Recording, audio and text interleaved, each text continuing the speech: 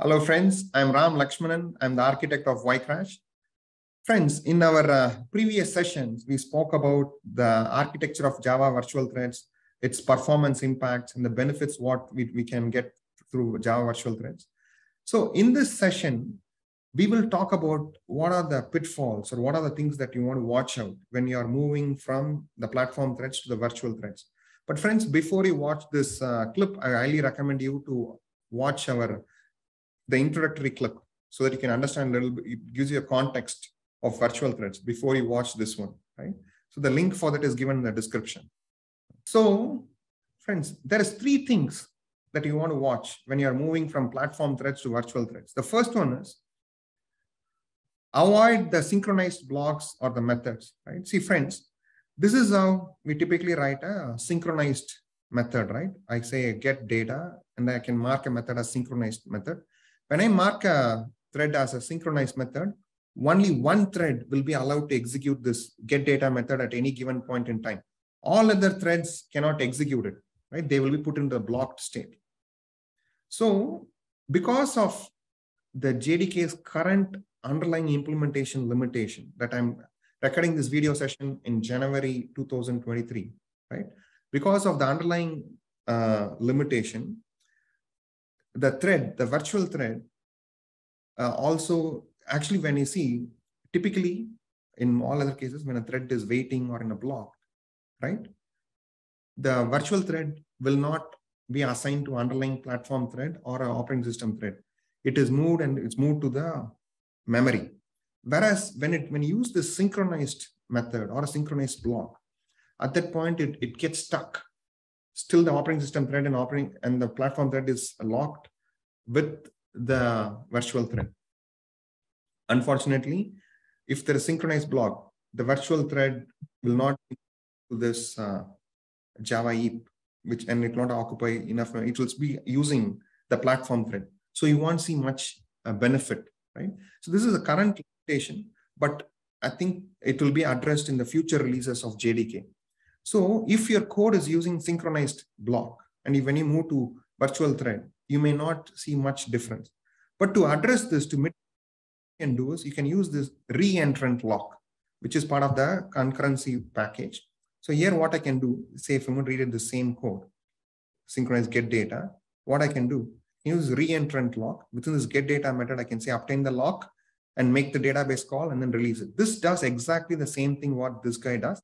But only thing is you get the benefit of virtual threads. That is your threads when it when it's getting locked, when it's not executing, it will it's going to move back to the Java heap and occupies very less memory.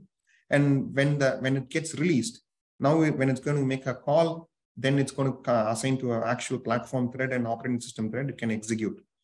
So you get the benefits. When you move from platform thread to virtual thread, you may want to look at doing this refactoring, the code refactoring. And the second thing is, sometimes the developers, what we do say if you want to limit the access to a particular resource, right? Say I have a backend database. I, I want to send only 10 calls to my backend concurrently at any given point in time. In that circumstance, we as a developers, we tend to use thread pool.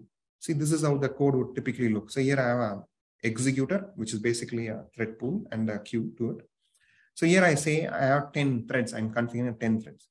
I say here is a backend call I'm making. Here I can say, since I'm giving us 10, only 10 threads would be allowed to make a call, right? I do this. Okay, unfortunately, in if you move to virtual threads, right? What's going to happen? You cannot use this API, right? In our uh, in one of our earlier video talks, we talk we spoke about what different APIs which is available to make an uh, to create a virtual threads, right? Uh, we'll share the link in this description. So here we cannot use this one.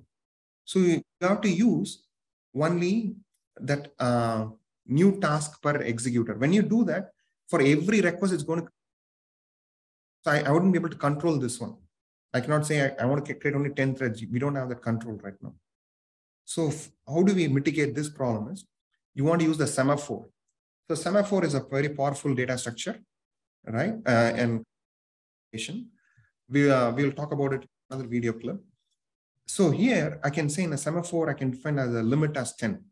This means when I set this limit as 10, that means this semaphore will limit only 10 concurrent calls to the backend system. I can rewrite my code like this. I have to refactor the code like this so that I can get the advantage of virtual threads. So this is the second thing what you want to watch out. And then the third one, what you want to be looking at is use of the thread local variable, right? Um, friends, uh, there is another video clip where we'll share the link where we talk about the thread local, right? Thread local is a very powerful mechanism, right? So where the variables is only visible particular thread, right?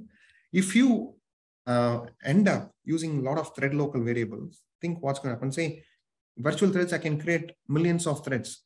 I can create several thousands or millions of threads. You want to create those threads. And then now,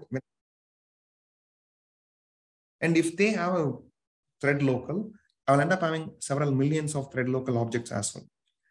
If your thread local object tends to be large in size, you're going to have several copies of those thread local variables, then it can immediately fill up your memory.